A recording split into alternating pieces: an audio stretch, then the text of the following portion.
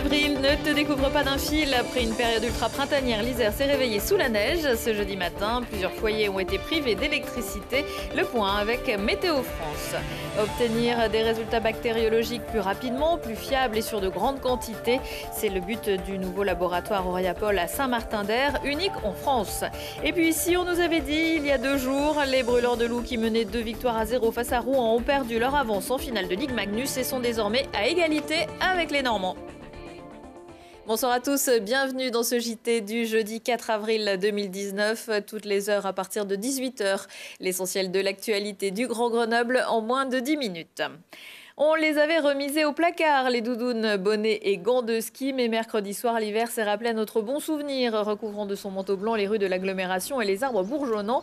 Bilan, plusieurs centaines de foyers privés d'électricité, principalement à Revel, Tess, Lamure et Miribel, des arbres cassés, le trafic des TER perturbé dans la région et des retards au bureau ce matin, mais plusieurs dizaines de centimètres de neige en station, alors que la zone B débute vendredi soir ses vacances. La faute au dérèglement climatique, diront certains, pas sûr, selon Météo France, qui explique que ces variations variabilités de température sont tout à fait normales à cette époque de l'année dans notre région. Cette variabilité, c'est tout le charme hein, de, nos climats et des printemps euh, dans nos latitudes tempérées où on alterne des périodes où c'est presque déjà l'été avec euh, des petites bouffées hivernales euh, qui viennent perturber la remontée lente des températures. Il faut savoir que climatiquement, euh, il neige au mois d'avril à Grenoble à peu près une année sur trois. Donc vous voyez, c'est pas si rare.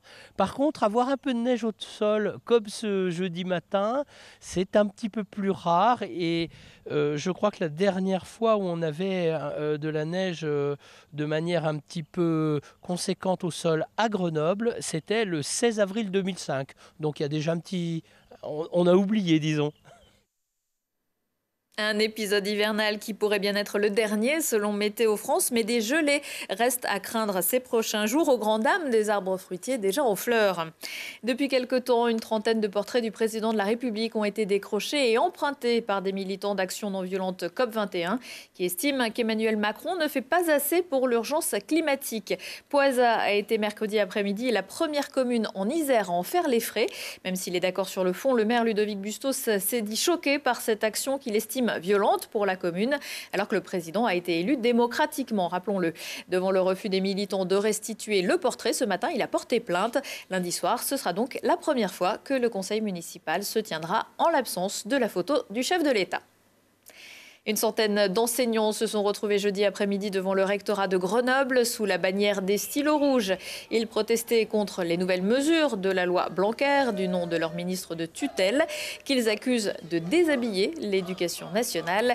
Le texte prévoit notamment le rapprochement des écoles primaires et collèges. Les profs craignent une perte des rapports de proximité. Oriade Novial, de très bonne humeur. Ces liquides du corps humain ont désormais leur centre spécialisé à Saint-Martin-d'Air. Le leader de la biologie médicale dans l'arc alpin et Beckton Dickinson s'unissent pour créer une chaîne de biologie unique en France qui tourne 24 heures sur 24 et peut traiter 6000 analyses par jour. Elle a été officiellement inaugurée ce jeudi. Les explications de Charlotte Faulkner. Chaque jour, ce sont près de 1250 analyses qui sont effectuées en microbiologie sur le site d'Oriapol. Des analyses qui peuvent parfois prendre du temps. L'entreprise a donc décidé d'investir dans une plateforme de microbiologie automatisée, un véritable gain de temps pour les médecins et leurs patients. On a amélioré la, fluidique pour traiter ces, milieux de culture. On a gagné à peu près 6 heures sur un prélèvement euh, bactériologique classique, mais surtout en parallèle, on a investi dans ce qu'on appelle la biologie moléculaire, qui nous permet maintenant d'avoir des, des, résultats beaucoup plus rapides. Si on prend par exemple une coproculture dans une diarrhée, avant il nous fallait 2-3 jours, maintenant on peut rendre un résultat en une demi-journée. Dans le laboratoire, les machines déposent un échantillon du prélèvement sur le milieu de culture correspondant pour ensuite y être incubés entre 18 à 72 heures. À l'issue de ce temps, les échantillons sont pris en photo puis analysés en salle de lecture. En fonction des résultats, une analyse approfondie permettra de connaître sa sensibilité aux antibiotiques, un fonctionnement qui permet aux techniciens de réduire leur temps de contact avec les bactéries. On a euh, optimisé les flux et euh, quelque part euh, rendu l'atmosphère de travail plus sereine dans le laboratoire. Ça, c'est la première chose. La deuxième chose, c'est qu'on est le moins en contact possibles avec l'échantillon. Par exemple, pour une analyse d'urine euh, négative, l'échantillon ne va absolument pas être touché depuis son arrivée au laboratoire, depuis sa mise à la poubelle.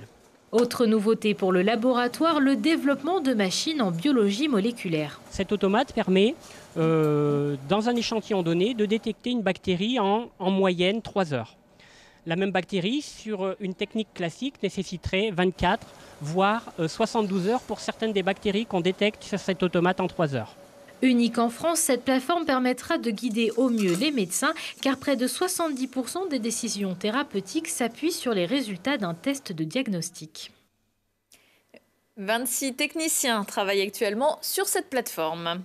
Les Dragons reprennent du poil de la bête. Grosse déception mercredi soir à Pôle Sud pour les supporters grenoblois des Brûleurs de Loup, même si les plus fervents y croient encore. Dans le quatrième match de finale de Ligue Magnus, Rouen s'est imposé face à Grenoble pour la deuxième fois en deux jours. Les compteurs sont donc remis à zéro. Lucille Dailly, Mathias Araez. Pôle Sud douché, pas vraiment par la partie, loin d'être un mauvais match des brûleurs, mais par le spectre d'une malédiction qui semble vouloir frapper les Grenoblois avec la complicité des Rouennais sur la dernière marche vers la Coupe Magnus. La jolie passe de deux victoires à Rouen fait l'effet d'un pétard mouillé. Les brûleurs de loup courbent les chines devant les dragons qui reviennent à deux matchs partout. On commence à zéro, hein, c'est 0-0. On va à Rouen. À Rouen, on gagne cette, cette saison, quatre matchs, trois victoires. Euh, on, aime, ça jouer là-bas. Écoute, je pense que c'est une bonne chose qu'on retourne là-bas pour vendredi.